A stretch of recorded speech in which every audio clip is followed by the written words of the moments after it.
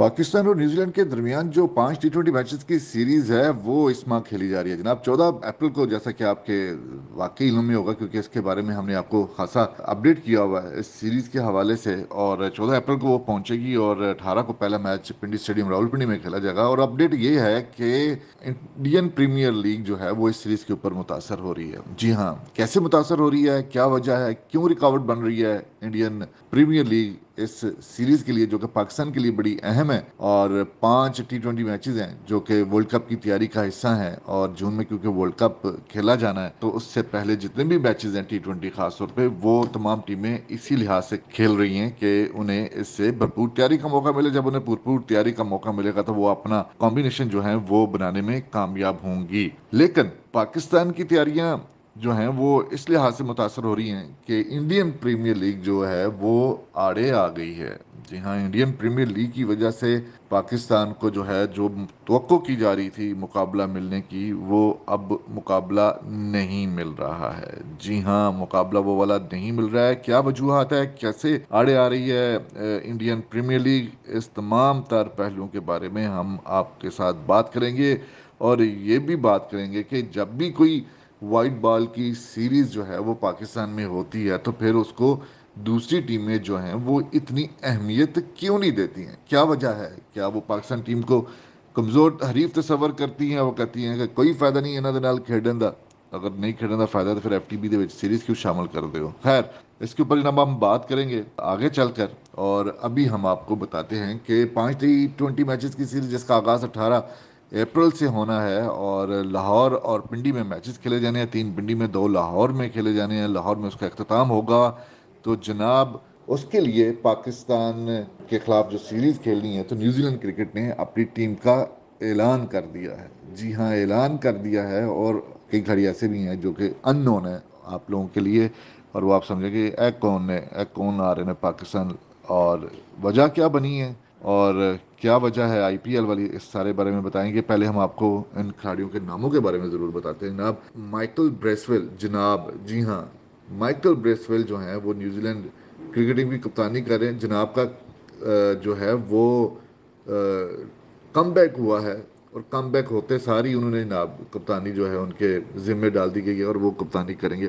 इसके अलावा जनाब ब्रेसवेल के अलावा जो स्क्वाड में शामिल है, उनमें जनाब मार्क चैकमैन है। पिछले साल भी पाकिस्तान आए थे। जोश क्लार्कसन है फिन एलन है जैकब डफी हैं, और डैन लेस्टर कोल मैकॉन्ची हैं, डैन फॉक्स हैं, इनका पूरा नाम है जनाब डैन फॉक्स क्रॉफ्ट हैं, इसके साथ साथ इश सोडी हैं टिम सैफर्ट हैं, बैन सीयर्स हैं ज़मीन एशम हैं, एडम मिलने हैं, टिम रॉबर्टसन विली वॉरॉकी हैं, ये वो खिलाड़ी हैं जनाब जो पाकिस्तान टीम में के ख़िलाफ़ खेलेंगे यहाँ पर। जैसा कि हमने आपको बताया कि 18 अप्रैल को सीरीज़ का आगाज़ होने जा रहा है।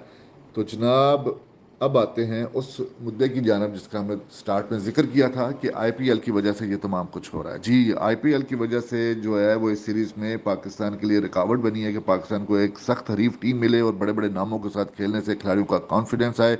इंडियन प्रीमियर लीग की वजह से न्यूजीलैंड के नौ खिलाड़ी जो ऑटोमेटिक चॉइस हैं न्यूजीलैंड क्रिकेट टीम के लिए वाइट बॉल के लिए, वो पाकिस्तान का दौरा नहीं कर रहे जनाब। नौ खिलाड़ी आईपीएल खेल रहे हैं और एक खिलाड़ी काउंटी क्रिकेट खेल रहा है। उसकी वजह से ये तकरीबन दस खिलाड़ी बनते हैं जो पाकिस्तान की सीरीज़ के लिए दस्तियाब नहीं है। इनमें ट्रेंट बोल्ड हैं डेविड कॉनवा हैं लोके फर्गोसन है मैट हैनरी हैं डेर मीचल हैं रवि राचन रविंद्रा हैं केन विलियमसन जो उनके कप्तान भी हैं मिचल सेंटनर और ग्लैन फिलिप्स शामिल हैं।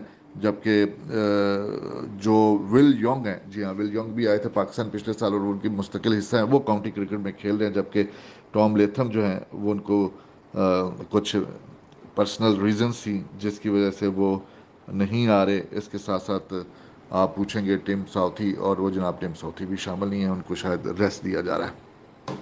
तो भाजन ये है सूरत हाल कि आईपीएल की वजह से पाकिस्तान को महरूम कर दिया गया है। और जो न्यूजीलैंड के क्रिकेटर्स हैं और जो न्यूजीलैंड क्रिकेट है उससे तरजीह दी है इंडियन प्रीमियर लीग को काउंटी क्रिकेट को और, वो समझते हैं कि यहाँ पर आकर खेलने की बजाय इंडियन प्रीमियर लीग में खेलना जो है वो वर्ल्ड कप की तैयारियों के लिए बेहतर साबित हो सकता है और उन्होंने इस सीरीज़ को कोई अहमियत नहीं दी है। इसमें कोई दो राय नहीं है। न्यूजीलैंड ने इस सीरीज़ को कोई अहमियत नहीं दी। हालाँकि न्यूजीलैंड क्रिकेट को चाहिए था।